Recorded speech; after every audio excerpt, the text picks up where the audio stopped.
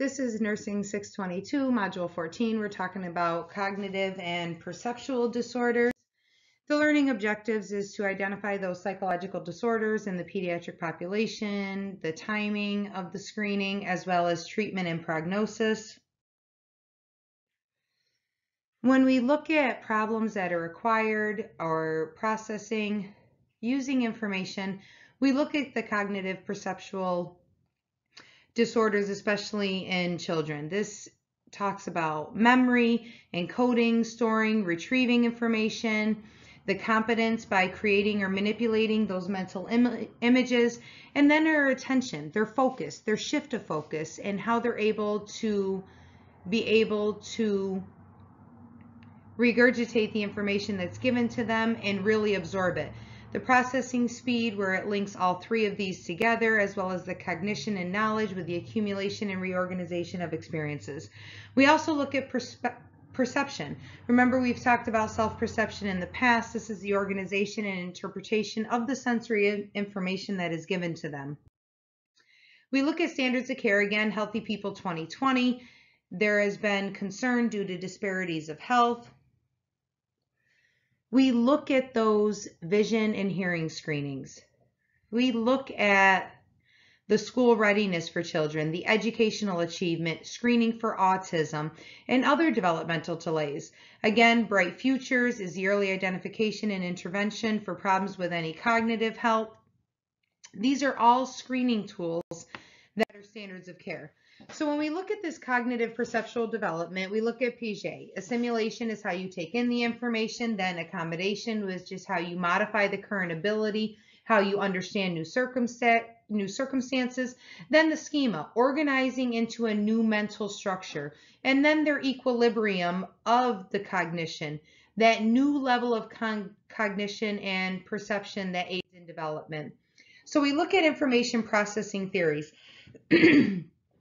the intellectual capabilities, the structural components, sensory, these visual, auditory registers, cues, short-term memory, long-term memory, the process components that looks at rehearsal activities, any working memories, automatic processing, those tasks, that structure, that context that has to do with processing different information. We look at the social cognition, the intuition, the ability to interpret behaviors, emotions, what do these kids feel about this? Are they able to interpret the behavior and emotion? Can they process this? We look at their ability by understanding thoughts, following rules of social play, regulating the responses to different social environments. We look at their perception and how they're going to anticipate how others feel, how they can communicate, comprehend in the social environment understanding body language, perceive faces, and note those nonverbal cues. There is a spectrum of development skills for each age group. We see this with executive functions, prefrontal cortex, self-regulation. So terms to know, inhibition, this is the stop delay, it's your first response. Interruption of inappropriate behavior resistance of interference by distractions? Am I able to manipulate around and be able to, in essence, tone that out? And then looking at the flexibility. Can you shift between activities and thoughts? We might call it multitasking as adults, but as children, that flexibility for them to be able to shift. When we look at components of the metacognition, we look at their working memory. We look at the verbal, the nonverbal. What do you remember? What do you remember what was said? Or facial expressions, or how they were standing. We look at problem solving, how they monitor tasks, or how they monitor themselves. We look at that sensory processing, the integration of the information from senses, taste, touch, feel, smell, what they see. Sensory modulation, that regulation of responses, you see it a lot with autistic kids. There's a sensory component. They don't do very well with high sensory situations. Then there's a sensory discrimination, which is that interpretation of the stimuli. And when you have these cognitive perceptual development delays, this can lead to a decrease in the discrimination, decrease in that sensory base motor or the balance or core stability for these children. We look at the social and emotional skills that will lead to academic success. We look at self-control. Can they manage their emotions, their behavior, and be able to focus? They, can they inhibit those negative responses that you want to have? Delay that gratification of wanting that positive, positive, positive right away.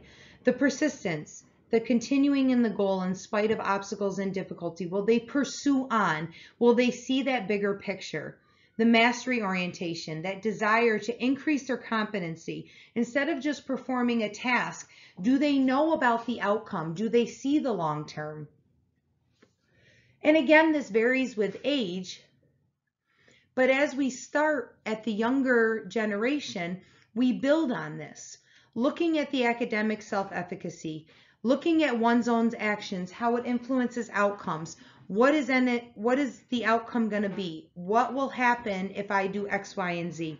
That social competency, knowing that skills you possess and how you interact with others is ultimately going to be integral as you pursue further careers and your development.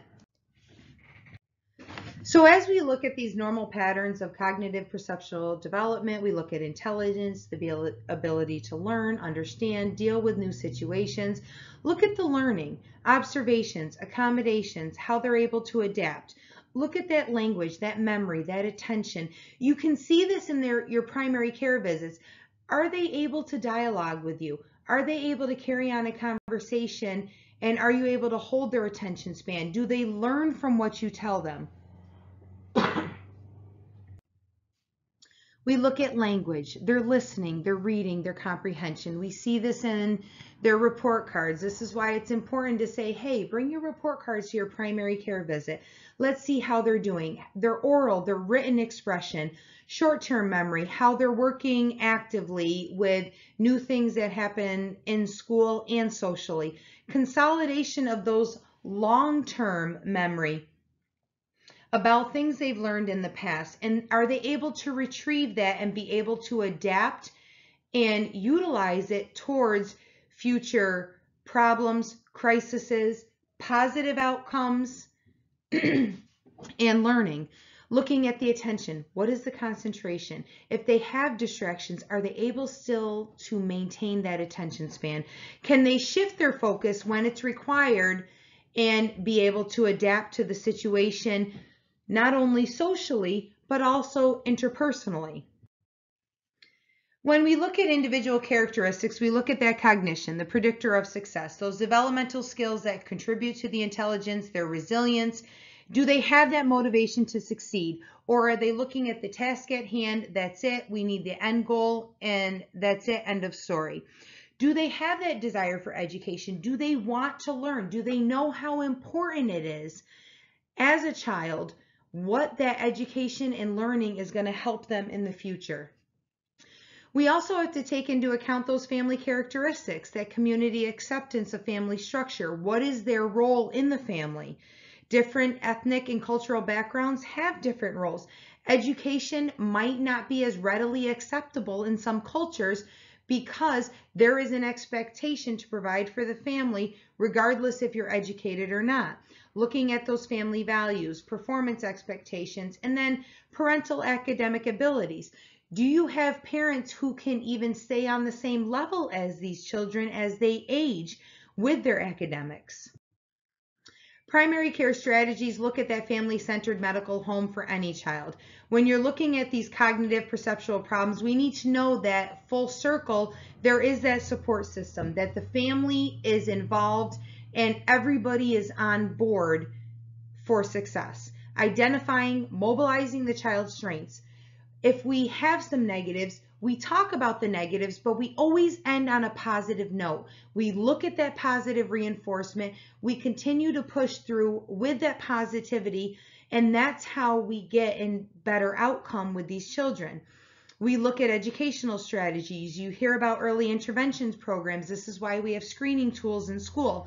Let's identify issues and problems ahead of time so we can spearhead it so they are not fighting an uphill battle all the way through childhood, through adolescence, preteen, and then into adulthood. Individual individual education plans. This is important because every child's different, just like every patient is different. We need to maintain that strength-based approach.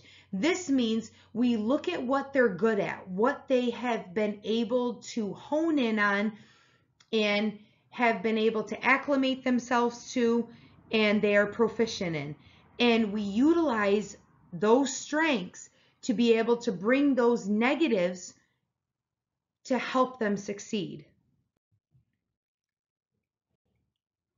When we look at family support strategies, we look at the advocacy, conferencing, monitoring. Is the family involved? Are the parents involved? Do they have a support system? What is their rights, entitlements to have this extra help? What community resources are available? Looking at the social and adaptive strategies. How can we make them be as independent as possible, but still try to give them that extra help that maybe some other children don't need, but maximize the independence that they do have. Social skills, learning, build on what they have and what they know. Utilize that structure, utilize those experiences that they have. Interprofessional collaboration, everybody needs to be on board. Your teachers, your counselors, your primary care physician, your parents, your family, Everybody needs to come together and integrate these services and understand what the end goal is. What the positivity is going to be for that patient if everybody is supportive while we bring those negative perceptual development issues into the mix and continue to push that child forward. Attention deficit hyperactivity disorder, ADHD is a very significant problem. We see it a lot with our younger population, even more now than it used to be in adolescence. A lot of it is secondary to primary play where they're just watching video games or on tablets, things like that.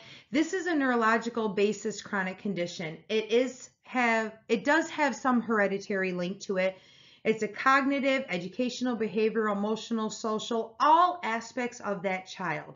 We have found that some children with the ADHD, just like autism, have significant intelligence. How do we bring that out?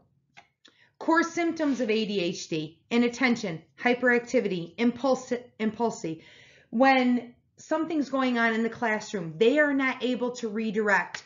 Immediately their focus is gone. We have to sit down and say, okay, let's focus. What is our task at hand? And then we have to give them that positive reinforcement to know what they are focusing on. And when they accomplish that task, this is the benefit of it.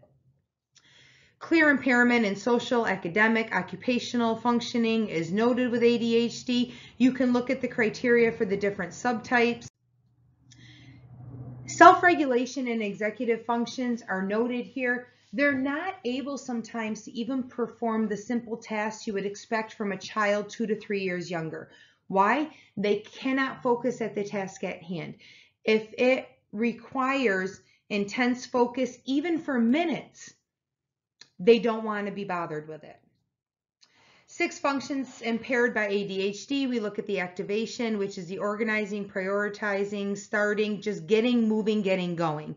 That focus, that sustaining, shifting attention to the task at hand and pursuing on despite any outliers or any variables that may come in.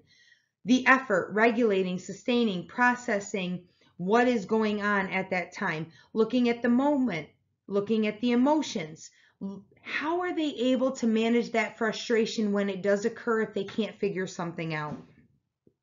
We look at their memory, their recall. How do we find ways to help them with their memory? What works for them?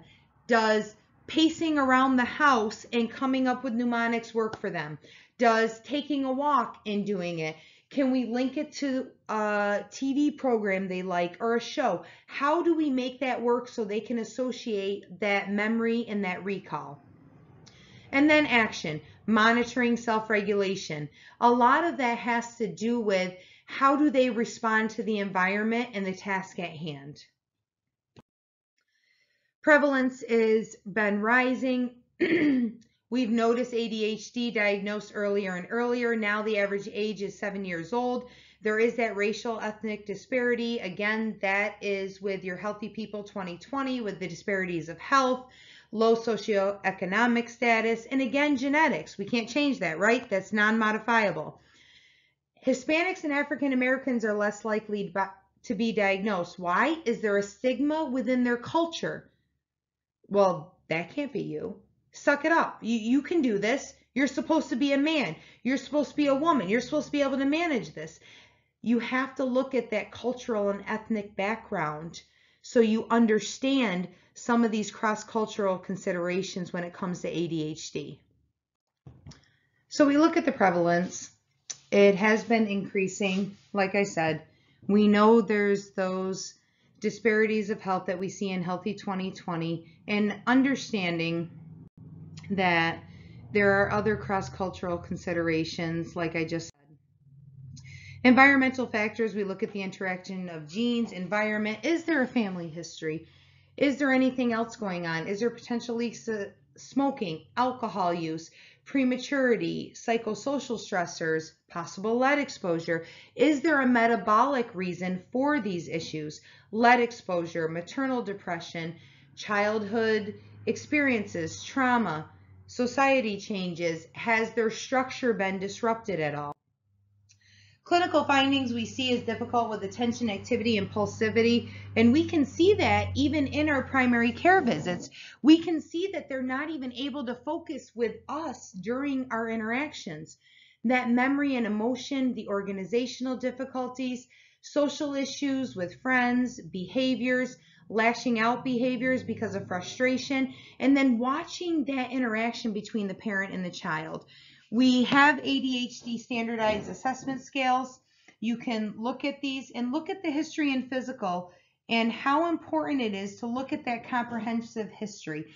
You could see it in the past. Remember, there was a stigma attached to this, maybe when their parents were younger and they weren't officially diagnosed.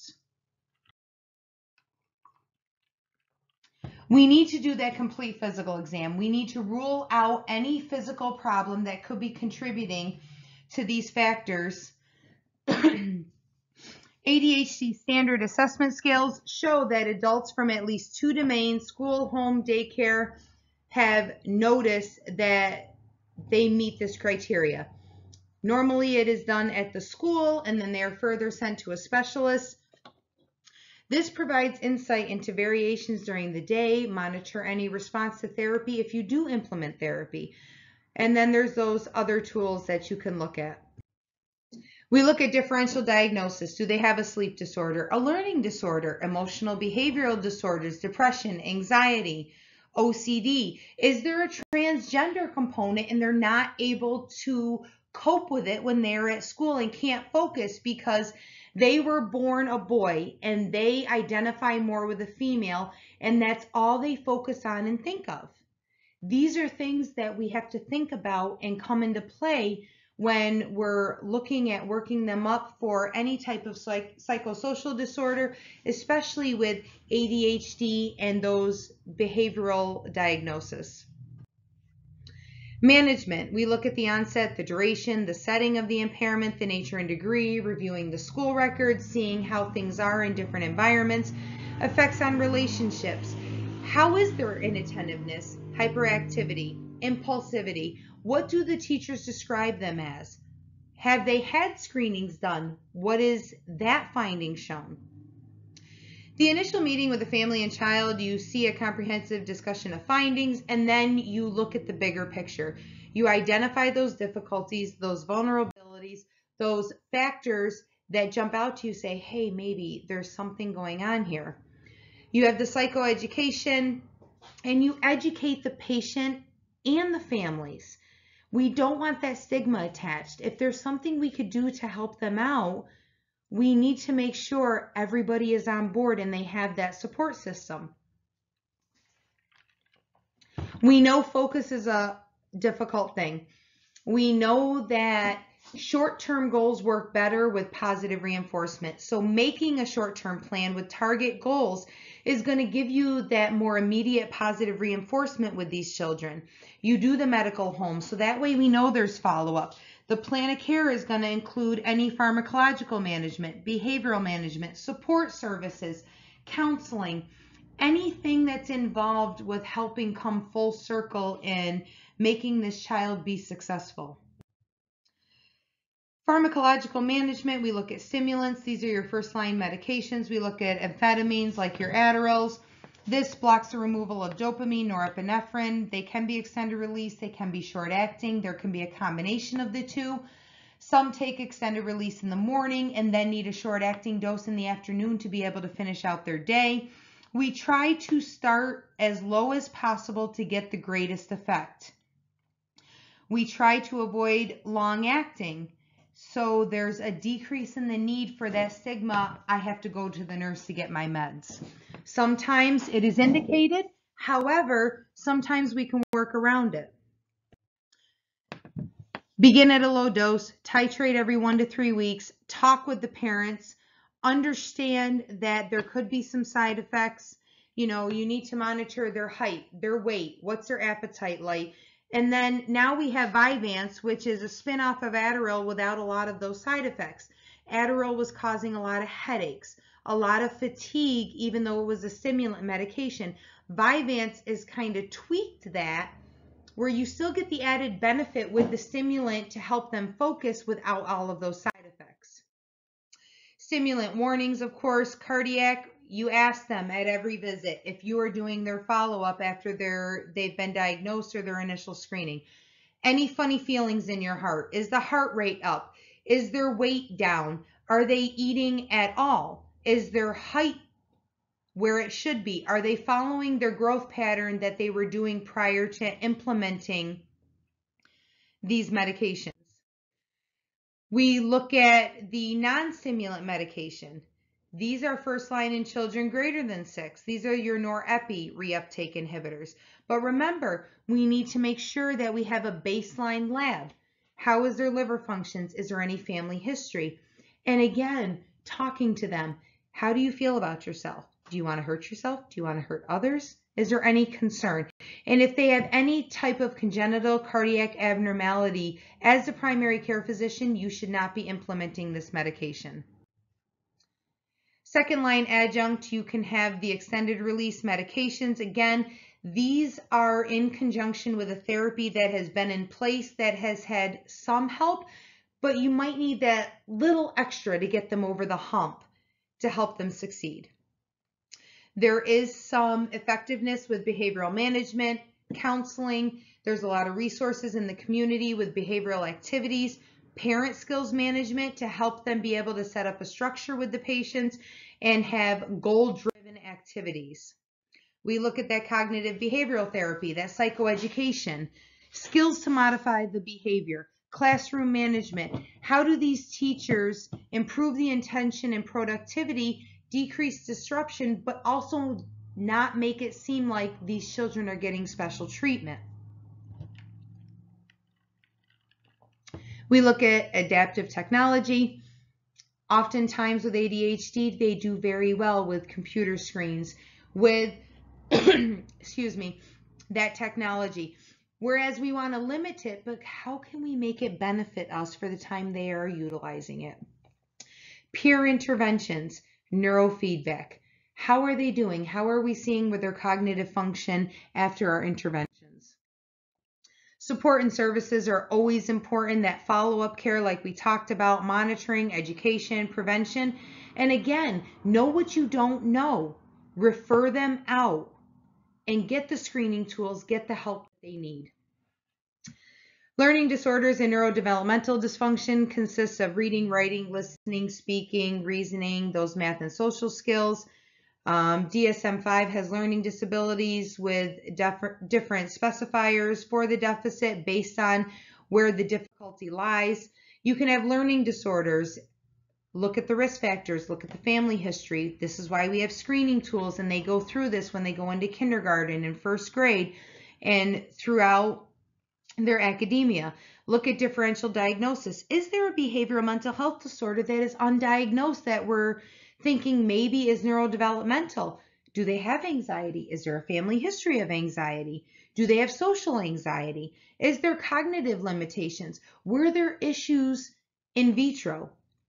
Was there any history of fetal alcohol syndrome or any neural tube defects or anything else that can contribute to this? Any post-traumatic episodes the child might be reliving? Was there a trauma? Was there a loss of a family member? Was there bullying? Getting a good history is going to give you good indicators and help you with these children. Monitoring these patients, referrals out to the support systems that are available. We look at the educational and adaptive supports, the plans for the schools that they have, the family and social support, but again, these all start with the screening and then we move on from there. Constant monitoring, looking at complications secondary to the plan in place, medications in place, and why are they acting out? If they're having issues at school, has something else happened? Or do we need to come back to the drawing board and revise the plan we have in place? We look at sensory processing disorders. This is the inaccurate and imprecise detection of sensory input. We look at motor clumsiness, the behavioral problems, over or under responsiveness, sensory issues, postural. These are things that we need to identify early on, which is why you have your well child visits. The relationship between behaviors and sensories experience is directly correlated. There can also be developmental cognitive delays on top of this, such as your ADHD or your ASD. And early diagnosis, referral, and treatment is key. You can notice that there's a lack of friends, poor self-concept. We talk about self-perception and how they see themselves and academic failure. How do we create those short-term goals to help them be successful? Autism has been more prevalent because it's been studied more. We have those neurobiological and neurodevelopment disorder. Again, this is a testing and screening tool all on its own. There's two different diagnostic domains. You can have the social communication interactive, or you can have the restrictive repetitive patterns of behavior. Some of these children do not talk much. However, they are brilliant. Their IQ is through the roof. We look at the restrictive repetitive patterns. Why are they doing it? Is that the one thing that they have control of? You look at symptoms from early childhood and you try to start your intervention then because you don't want that lifelong disability. You want to help them be successful. The cause is ultimately unknown. It occurs in all different racial, socioeconomic groups. There's a possibility there's a genetic component, immune system dysfunction, we really don't have significant data to back this. Things we look for in the clinical findings is the social interactions, their abnormal responses, especially to sensory. Sensory stimuli seems to be a big component with autism, regardless of what stage they're at. Infants, toddlers, preschoolers, school age, adolescents, they all have different ranges with how they present with autism and on the spectrum. We look at developmental surveillance. We look at the screening tools. And again, referral early as possible is needed. Looking at possible social or language disorders, and it could be a combination of the two, but knowing there could be a differential diagnosis is very vital for these children. Management with resources and support with special health care needs, behavioral mental health, and education, early intervention. Everything with these children with psychosocial is early intervention as early as possible to get them the help they need. We have medications to help treat co-occurring conditions, meaning are they autistic and have a component of ADHD with it? How can we manipulate the medication that we can take care of the ADHD component and in essence fit it into the plan with their autism? There is not strong data for efficacy, but we can start with that plan with the screening tools we have and the specialists that we've talked to and monitor how they're doing and seeing if we are meeting those short-term goals. Complementary alternative therapies. And again, family counseling and support with these children are huge. It's not just the child, it's the family, it's the whole component and understanding that and knowing the dynamics of the family is crucial. Your references with your textbook readings and additional resources.